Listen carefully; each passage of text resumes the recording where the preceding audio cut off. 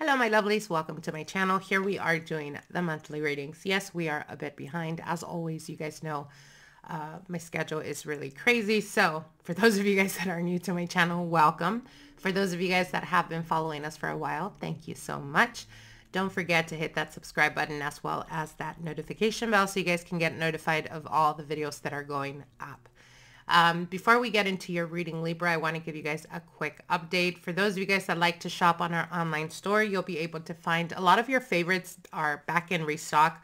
Um, as like the soap line, a lot of your favorites. Uh, it, it's a process because we do everything naturally and we do it specifically uh, ritualized. So it's a process and it takes a while, but you'll be able to find a lot of your favorites back on stock as well as the candle line that we just recently released. These are uh, candles that are specifically ritualized, prepared, consecrated through ceremonial rites. They are empowered depending on what it's for. So you'll be able to look at those on our online store as well as your favorite oils. So anyways, let's get into your reading. Libra. Let's see what Spirit has for you guys for this month of March 2022. Spirits give us the messages for Libra, Sun, Moon, Rising, and Venus. Give us communication with the element of air. Give us finances and career, element of earth. Give us the challenge, element of fire. Emotions and relationships or partnerships, element of water. And spirits general energy for the month.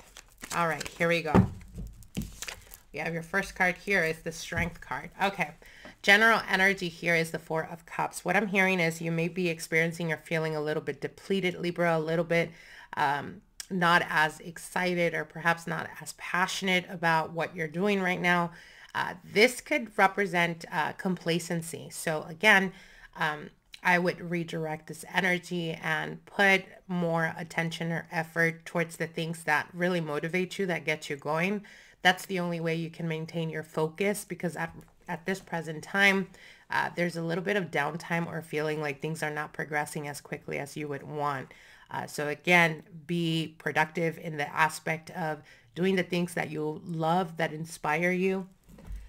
All right, when it comes to communications, you have the strength card. So you may be dealing with a Leo energy for some of you guys. For others, it could just represent feeling a little bit more confident the way uh, you express yourself. And what I'm hearing is a little bit more bold in the way you express yourself. A lot of the times I know you guys have difficulty, right? When we're talking about confrontations or when we're talking about having the need to um, step up or having the need to draw a line in the sand. And I feel that for this month of March, you're going to be a little bit more aggressive in that aspect. And that's a beautiful energy if you want me to be completely honest. Uh, why? Because I see you guys very much more assertive for this month. I see you guys um, really, like I said, drawing the, the sand on the line or drawing the line on the sand, um, creating boundaries is what I'm hearing. So that's definitely a good thing. Uh, I think it's something that has been brewing for a while for you guys. And I feel like you're feeling much more empowered and more confident to do so. Now, when we're talking about uh, finances and career, you have the Fool card here. So you have two major arcanas, uh, major changes that are happening uh, this could be astrologically. Your natal chart may be activated at the present time.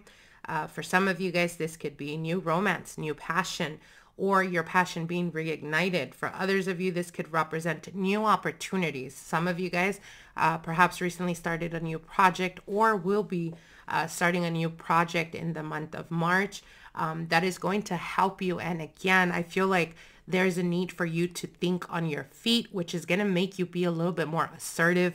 Um, and it's going to boost your confidence for sure. So I feel that this is a very beautiful type of energy here. Now, the obstacle here with the element of fire, uh, the challenge for this month is the Eight of Wands. So the Eight of Wands, I feel like uh, March and probably April are going to be a little bit busier than what you've been dealing with because we did see the Four of Cups, uh, feeling of a bit of slowdown or things not picking up. That's quickly going to be changing for you guys, Libra. And I feel that the challenge here with the Eight of Wands is you're going to be feeling like you're time restricted, like you don't have enough time or like you're being pulled towards different directions and things are just picking up rather quickly. It's almost giving me a feeling of I could barely keep up. Um, not necessarily a negative thing because I think that when we become busy, or things are moving rather quickly, um, it just, you know, facilitates us to getting us to where we want to be. And I think that you have true potential here, Libra, for the month of March. Like I said, I feel that this month is going to be very powerful in regards to growth and advancement for you guys with the strength and the Fool. Uh, definitely having the courage and the power within yourself to set out on something new and to make changes happen.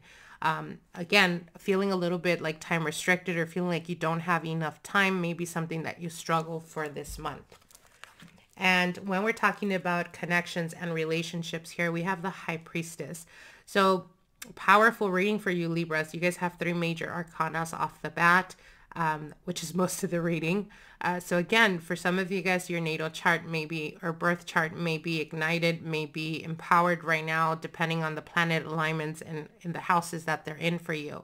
For some of you guys, I feel like uh, 12th house may be very strong right now, which is intuition, spirituality, um, thinking outside the box. Uh, High Priestess also indicates to me the having to understand that you've gotten to the point where there is major transformation that needs to happen. And in the past, perhaps you doubted yourself or didn't want to take those steps to get you there. Uh, but at this point, you're definitely going to be pushed to continue growing Libra.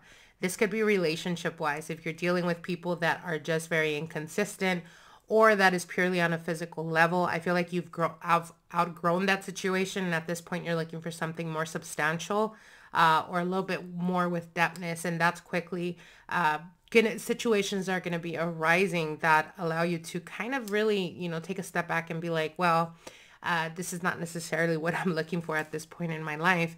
Uh, this could be connections as well. This could be cutting links with people that are uh, kind of a heavy burden for you guys or keeping you guys down. I see you guys very motivated. And like I said, I feel that March is only the beginning of the changes that are coming for you guys. So um, I hope you guys enjoyed this reading. Like, share, and comment, and we'll see each other soon. Until then, bye.